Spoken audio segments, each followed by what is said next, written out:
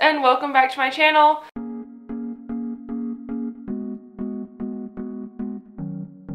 My name is Emma and today I'm going to be sharing with you five easy care houseplants that I think pretty much anyone can take care of. These five types of plants are ones in my home that I feel like I never really have to worry about. They just do their thing. I don't need to be fussing with them all the time. I don't need to worry about whether their humidity is right or whether they're getting enough water or anything. They just are reliable and grow pretty easily without that much extra intervention from me. Another good thing about all of these plants is that you can find most of them for fairly cheap. The most basic versions of all of these plants are in pretty much everyone's price range. They're very affordable.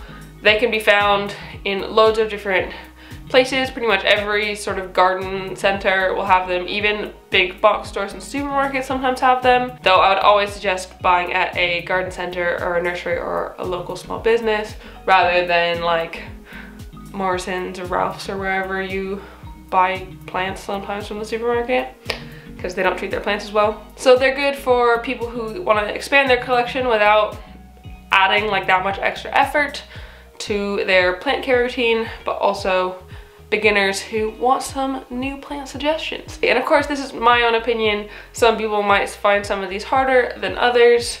It really just depends on the person in their house, but these are, in my opinion, five easy care houseplants.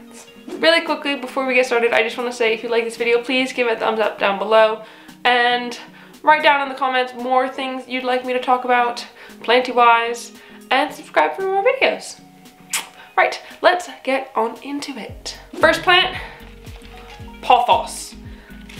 They are fantastic. Pothos were one of the first types of plants that I got into. That's just because they're so stunning. Like I love the way they trail down. You can also train them to climb up if you want them to have bigger leaves or you've got a moss pole or a trellis or something. They can climb up as well and they just look fantastic. This one here is a marble queen pothos, Epipremnum aureum, but there's loads of different types with loads of different variegations so you can pretty much find a type of variegation that matches what you want. They're also happy in most light conditions I have most of my pothos up on a high shelf and they're totally fine there. I'd say they probably get medium to low indirect light most of the day, especially when it's cloudy in England. They're not getting all that much light and I mean, look at this. It has grown so much since I originally got it. I'll put a picture here of when I originally got it. But since then, it has grown immensely. They just keep pushing out new growth oftentimes even in the winter as well, which is another reason to love these ones. Ooh, got a broken leaf. Meh, sad leaf. Another really great thing about pothos is that they will tell you when they're thirsty. They will wilt and kind of get a little bit sad and soft. That just means they want water and give them water and they will perk right back up again, no problem. Also, they're super easy to propagate because they've got like vines with nodes and stuff. All you have to do is chop a little bit off, prune them if they get too long. You can propagate those pieces and put them back at the top, give them to friends, sell them, whatever you fancy doing. Easy propagation. Overall, I'd say pothos probably is one of my favorite types of plant just because they're so, so easy and low maintenance and just all around great easy plant. Next up we have the ZZ plant, the Zamioculcas zamiifolia think that's how you pronounce it as well as the ZZ Raven. I'm lumping these in together because they're essentially the same thing. They can tolerate barely any light. I keep mine downstairs probably two meters, six feet, or even further away from a northeast facing window. So they are really not getting that much bright light. I'd say it's probably low indirect, medium at best. They're thriving. I got so many new shoots last year on my ZZ Raven. They just love it. Also, they don't need all that much water. They much prefer their soil to be dry. They are super drought tolerant. They just don't want to be watered that much, which is great. You can kind of set them and forget them and not worry about them. Also, they like to be super root bound, so you don't need to repot them all that often. Like you can see, this one, it's like warping the pot. There's like a massive bulge going on right here where it's warped the pot. That's because they like being root bound. I don't have to worry about repotting it because they actually like being a bit tighter in their space. So it's just less work for me. It's brilliant. ZZ plants are slow growers, but they can grow quite tall. So they make for a really great statement piece that you really don't have to worry that much about. So yeah, ZZ plants, they're a good. Easy peasy, low maintenance plant. So this next plant, mine is pretty big, so it's gonna be a pain to put in shot, but Monstera deliciosa. They are so hardy. They can tolerate quite a lot. They're pretty drought tolerant. I mean, you still need to water them, but they can handle not being watered for a little while. They'll just wilt their leaves a bit and you can water them, perk right back up again. This one managed a battle with thrips. This is probably one of the plants that had the worst thrips in my collection and still beautiful, looking fine. You can see there's stems where I've physically cut off leaves because they had thrips on them. And now it's got a brand new leaf popping out of it. So they just, they just can handle things, which is brilliant. I love when my plants can handle, not like abuse. I'm not trying to abuse my plants, but a little bit of roughing. They, they don't need to be fawned over all the time. Monsteras are also great because they can grow massive. Like as you can see, this is a pretty decently sized plant, pretty large. I've got it on a moss pole because if I didn't, it would just be sprawling out everywhere. Like I've seen them on Instagram in people's houses just on huge, massive moss poles in botanical gardens and like out in nature. They just grow wildly up trees with huge leaves. Like, I, don't even know how to describe how big they are. Like, if my other arm was up here with me, massive leaves, huge. And with their like fenestrated leaves,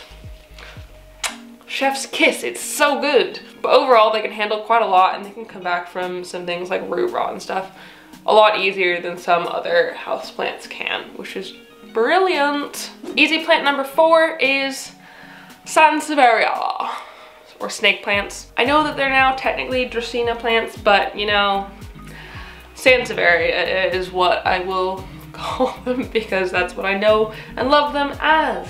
These are seriously one of the best set and forget plants. They don't need that much water. Actually, they don't want that much water. I only water mine when it's fully, fully dry. Also, they don't need all that much light. Yes, of course, they will grow more if you're giving it more light, but they can handle like medium to low indirect as well. I, again, have all of my Sansevierias downstairs where they're not getting that much light and they're fine. They will still grow and produce babies and stuff, even in not the highest light conditions, which is great because you can divide them up, give them to your friends, sell them, do whatever you want, propagate, and just have more plants. It's ideal. They grow, give you babies, and you get more plants. Another good thing about snake plants is that there are so many different varieties, so many different leaf colorings. Like no matter what your sort of decor style is, you can pretty much find the right Sansevieria for you. If you don't like the flat leaves, there's cylindrical ones. If you don't like this sort of light bluey green, get a yellow one. There's just so many options that how can you not find one for your space. My mom has one of these. She is not that into houseplants and after watching my snake plant video, she was like, I can do that. She's got one and it's growing fantastically. So like, if my mom can do it, you can do it. Go get yourself a snake plant because they're great. And you can use them as a scratching post if you want to scratch your face because it actually feels really good. Last but certainly not least is vining philodendrons. Vining philodendrons are a super duper easy plant. This one lives down in my bathroom. Not many plants live in my bathroom because it doesn't get that much light. It's got a tiny window. No direct sunlight at all comes through this window. It is dark down there.